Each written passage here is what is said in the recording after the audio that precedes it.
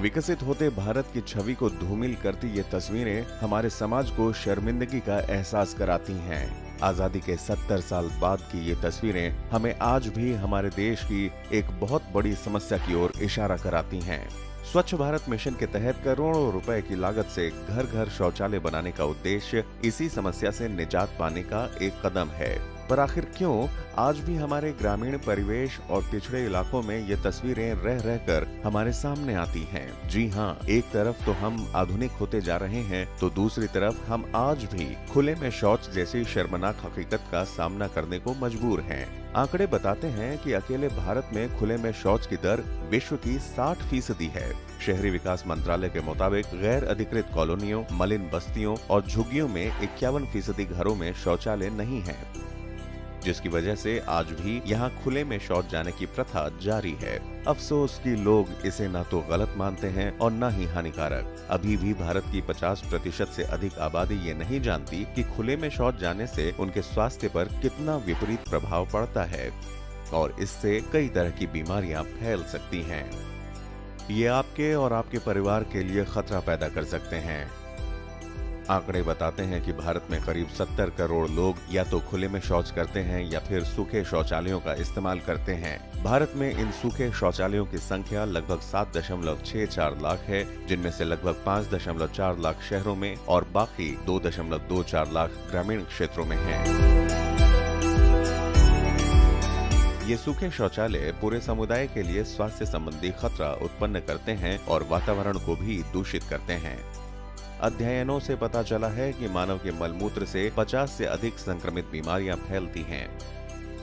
और ये भी सच है कि हमारे देश में संक्रमण के चलते हर साल लाखों लोगों की जान चली जाती है।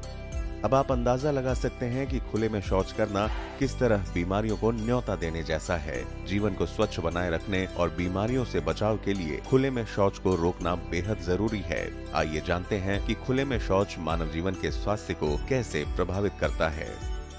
खुले में शौच के नुकसान। इससे जल स्रोतों में संक्रमण का खतरा बढ़ता है। जल, थल और वायु प्रदूषण को बढ़ावा मिलता है। इंसानों में संक्रमण संबंधी बीमारियों का खतरा बढ़ता है। बच्चों के स्वास्थ्य पर गहरा असर पड़ता है। महिलाओं के लिए सुरक्षा और निजता का खतरा, बुज़ुर्गों व बीमार व्यक्तियों के लिए असुविधाजनक।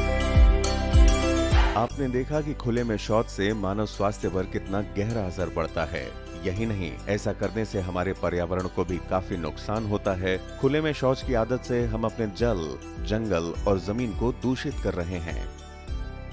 ऐसे में स्वच्छ भारत मिशन के तहत खुले में शौच पर प्रतिबंध लगाने के सरकार ने कई कारगर कदम उठाए हैं।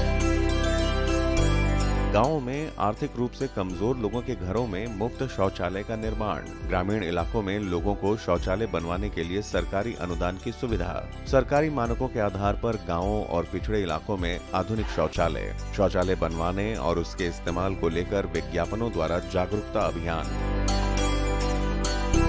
इस योजना के ज़रिए सरकार का लक्ष्य ग्रामीण क्षेत्रों में रहने वाले लोगों के जीवन स्तर को सुधारना है, साथ ही ग्रामीण क्षेत्रों में स्थायी स्वच्छता को बढ़ावा देना है। लेकिन इस मिशन में सरकार के लिए सबसे बड़ी मुश्किल ये है कि सिर्फ़ शौचालय बनाकर या लोगों को इसके इस्तेमाल के लिए शिक्षित और प्रेरित कर हम स्वच्छ भारत मिशन का उद्देश्य पूरा नहीं कर सकते, क्योंकि इस अभियान का उद्देश्य मानव मल मूत्र का सही प्रबंधन करना भी है, ताकि मल मूत्र ज़मीन के नीचे भूजल को दूषित न कर पाए। ये मल पिट से पाइपों के ज़रिए जल स्रोतों तक न पहुँच पाए और ये अपशिष्ट खुली हवा के ज़रिए पर्यावरण को दूषित न कर पाए। लिहाजा इसका प्रबंधन और निस्तारण बेहद ज़रूरी है।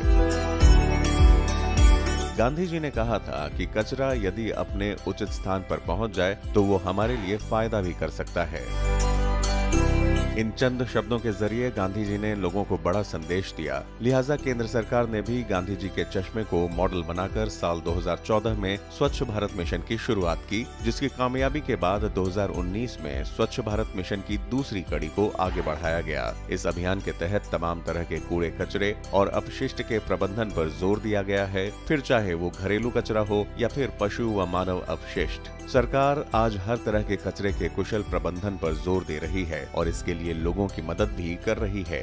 ये सच्चाई है कि शौचालयों के ज़रिए मानव अपशिष्ट को महज निस्तारण किया जा सकता है, जबकि इसके सही प्रबंधन के ज़रिए हम इसका उपयोग ऊर्जा निर्माण और जैविक खाद बनाने में भी कर सकते हैं। यानी, मल से खेती को बल भी दिया जा सकता है और ये पर्यावरण के लिए भी बेहतरीन विकल्प है।